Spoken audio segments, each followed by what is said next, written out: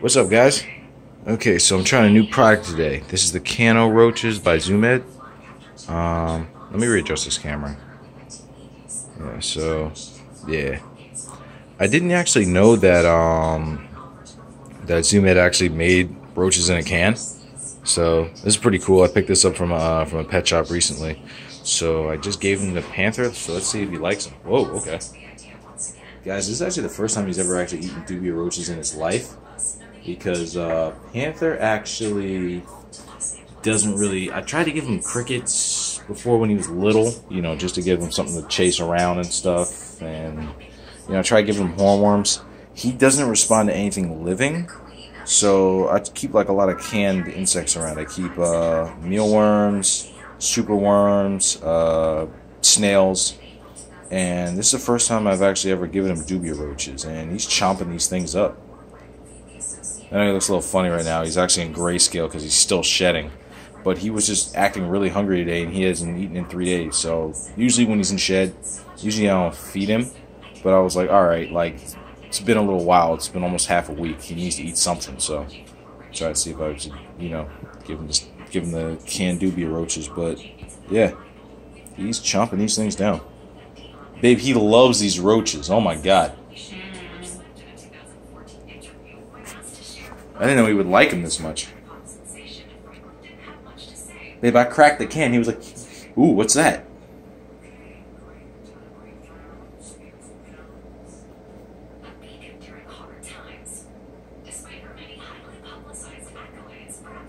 Yeah, this is really cool.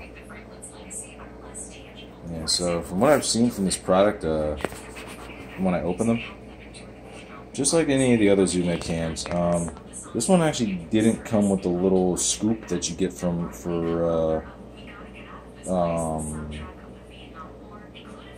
that you get from the Can O' snails and the Can O' mealworms and stuff. But um, I guess probably because the roaches are so big.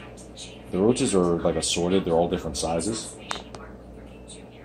kind of like what you would find in a typical roach colony. They're not very large. They're like medium-sized roaches. Like they don't have full-grown ones in there. I don't really see any ones with wings and stuff like that. But um, yeah. Man, he's tender. He's really liking these things.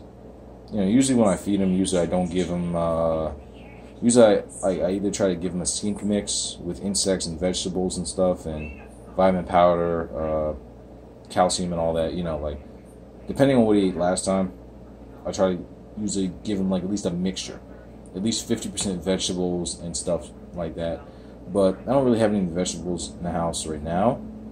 And whenever I try something new, I try to give it to him plain in the beginning, so that way, at least if he doesn't like it, I'm not wasting another food that I mixed with it, and it's not like it all smells like that one thing. So I have to waste like my vegetables or a second protein that I mix with it or anything like that.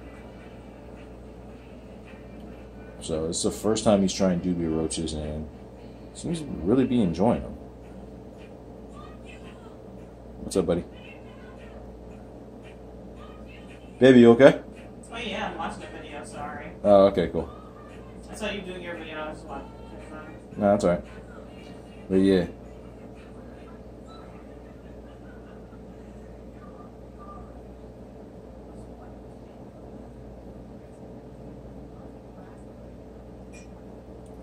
Yeah, guys, Panther's doing really well. It's funny. I just had him in my hands earlier, and he was uh, he was chilling in my hands for like a good 20 minutes. So he's taming out very well. Hasn't had any more respiratory infections, thank God. Um, He's eating good. His poop is coming out nice and solid. He's thermoregulating just fine. Hasn't had any issues with dry eyes or anything like that. No issues with his mouth. No issues with his fingers or toes or anything like that. His sheds are coming out perfect. You guys remember when I first got him? If you look at my earlier videos, and you can see it really well with the video uh, that I have where I had all three of my lizards together. I had the two leopard geckos and they skink next to each other. Um, he had all these scratches at the top of his head. But look at that head now. Just shiny and, you know, nice little black markings. It doesn't even look like he was all scratched up like he was when I first got him. Like, he looks really, really nice right now. And I know it's like, you know, the lizard looking aesthetically pleasing to me isn't like the most important thing. It is. It can be a sign of health and treatment and different things like that. I'm not saying that you know it's not a good indicator of that, but I'm not the type of guy to say, "Ooh, that's a perfect specimen of a so and so because this one has more red in its skin or this one has darker striping and blah blah blah and stuff like that." Like, I don't really look at animals just by you know like their paint jobs, by what colors they produce naturally. Like, you know, like that's not what I do to judge an animal that I keep in my, I guess you can call reptile collection. But yeah, like you know, to me, it's just whether or not it's a good pet. And you know, I took a little risk with Panther because he was a little beat up when I saw him, and I felt bad for him. And I was like, okay, he doesn't look like he's like malnutrition and gonna die. He just looks like he had a rough way to go. Maybe being with his siblings or something like that. I don't know what caused him to have all those scratches on the top of his head, but you know, he's doing just fine now. And uh, yeah, I think this guy is uh, doing excellent. Yeah, that, grayscale looks pretty cool on you, buddy. Mm-hmm. yeah, I can tell he likes the roaches because usually if it's like a, a food, he'll take a couple bites and then he'll go crawl off somewhere and probably eat it later on after it's like halfway dried out. Whenever he sits by the bowl, he's like, I'm not leaving until I finish this meal. So that's a good sign. he's doing well. Hey, buddy. He's just trying to swallow them down. They're such big pieces.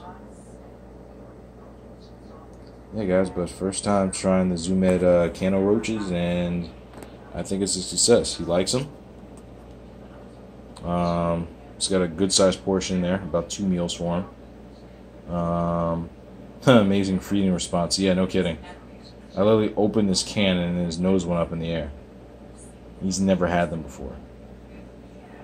Let's see. It's good.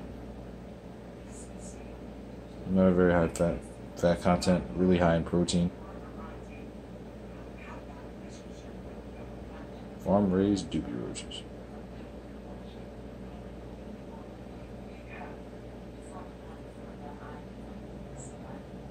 Wait a minute.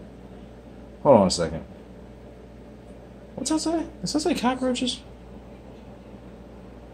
Farm raised. Wow, cockroaches. Okay, guys. so I was wrong. Yeah, these actually aren't dubias. They're cockroaches. Huh. Well, look at that. Okay, well, huh, first time trying cockroaches. He likes them. Wow. it's hilarious. I guess I just assumed they were dubia roaches because dubia roaches is what you usually find in the pet trade for actual food. Usually people don't breed cockroaches because I guess the whole thing about them, uh, you know, infesting your house and stuff like that. Which makes sense. I mean, I would never bring a live cockroach in my house. You know what I'm saying? But yeah, okay. It's first time he tried cockroaches and he likes them. I wonder why they don't use dubias. I wonder if they make a can of dubias. That'd be cool too, right? Alright, well, anyway, guys. Yeah, so. First time Panther trying cockroaches. And, uh. Yeah. Yeah, really likes them.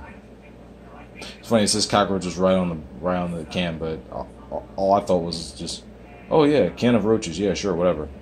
and I read the back, I'm like, ingredients, I'm like, wait, that says cockroaches. And I look at the front, big, big yellow letters, cockroaches, not dubia roaches. Not gonna lie, I feel kind of stupid.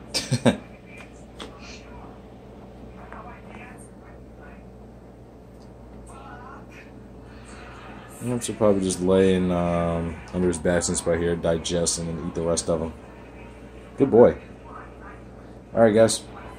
I will see you later, and uh, have a good day. Don't forget to like and subscribe. Later.